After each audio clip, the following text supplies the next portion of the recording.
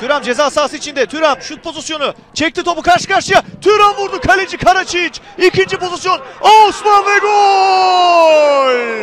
Eşitlik geliyor maça. Osman atıyor. Adana Spor 1, Tuzla Spor 1. Takımına eşitliği getiriyor.